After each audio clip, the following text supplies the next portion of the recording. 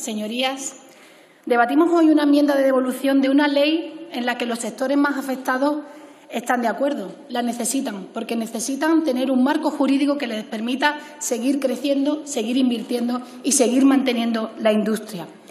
Tanto es así que llevan años trabajando para adecuar sus actividades, sus investigaciones de procesos y productos y realizando inversiones que minimicen su impacto en el medio ambiente, adelantándose a la existencia de una ley como esta y teniendo siempre como eje las decisiones tomadas en la Unión Europea y en los diferentes acuerdos que se han tomado mundialmente a este respecto.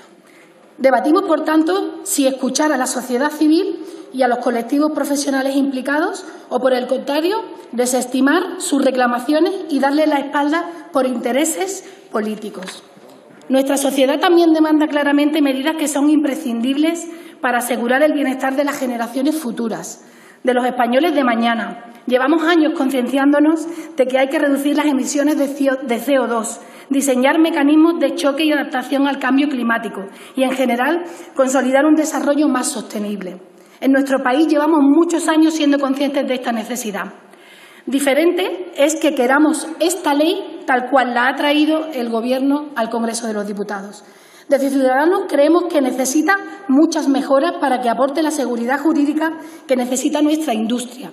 Es una ley que necesita cambios y consensos y creemos que el Gobierno es consciente de ello y si no lo es, se lo decimos hoy. Todos estamos de acuerdo en la necesidad de una ley como esta, excepto Vox, que no son capaces de reconocer los indicios, preocupantes como el calentamiento global, probado y refrendado con numerosos estudios científicos y también con el hecho de que mundialmente existe consenso sobre esta realidad. Esta enmienda a la totalidad que hoy debatimos se limita a solicitar la retirada del proyecto de ley en base a distintas consideraciones de tipo económico e ideológico de manera un tanto inconexa y prejuiciosa. Por un lado, se señala la excesiva ambición de los objetivos planteados tanto en el proyecto de ley como en el Plan Nacional Integrado de Energía y Clima, lo cual es una información verídica a la vista de los objetivos planteados por la Unión Europea para España. Por ejemplo, frente a la reducción del 21-23% de gases, de gases de, efecto, de efecto invernadero respecto a 1990 que plantea el Gobierno, la Unión Europea exige a España retomar los niveles de aquel año referido.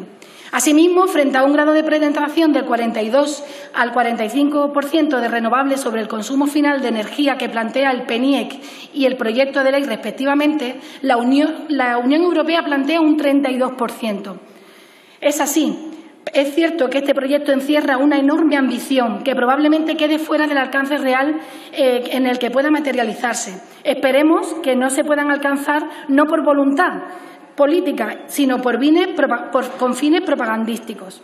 Sin embargo, esta ley no es razón suficiente para exigir la retirada del proyecto, ya que precisamente cabe la posibilidad de enmendar su articulado. Por otro lado, Vox sustenta su oposición en una agresiva confrontación ideológica en la que se, se pretende imputar el fenómeno del cambio climático a una cierta invención de la izquierda política con el ánimo de generar nuevas divisiones y apoyos electorales a su favor.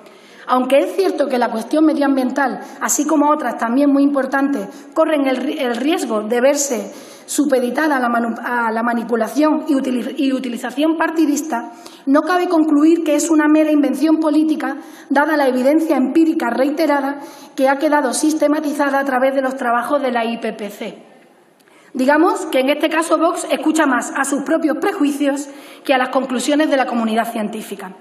Finalmente, Vox ampara su decisión en determinados artículos o incluso declaraciones eh, de la titular de este Ministerio, que con mayor o menor fundamento no motivan una enmienda de devolución, ya que se pueden plantear enmiendas al articulado de aquellos aspectos que no, con los que no se estén de acuerdo o que se quieran mejorar, como precisamente sucede con la cuestión de la neutralidad tecnológica y el transporte, como venimos defendiendo desde Ciudadanos.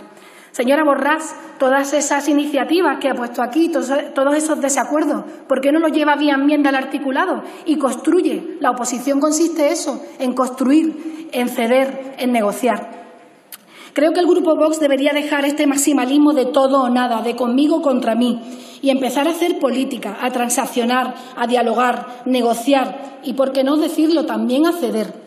Donde hay maximalismo no hay utilidad, señorías. Condicionar la lucha contra el cambio climático que compete a toda la humanidad y a diversas generaciones a las desafortunadas declaraciones de la ministra es cuanto menos sorprendente como argumento. Es por todo esto que votaremos en contra de esta enmienda a la totalidad y seguiremos trabajando para proponer enmiendas que hagan que esta ley alcance objetivos razonables, para que tenga un impacto adecuado para nuestra industria y para que ofrezcan la seguridad jurídica necesaria. El cambio climático está aquí, es un reto para toda la humanidad. Señorías, el problema es suficientemente grave como para afrontarlo Mm, peleados por un regate corto y mirando solo la letra pequeña y el politiqueo. Seamos responsables, hagámoslo por, hagámoslo por nuestros hijos. Muchísimas gracias. Muchas gracias, señora Martínez.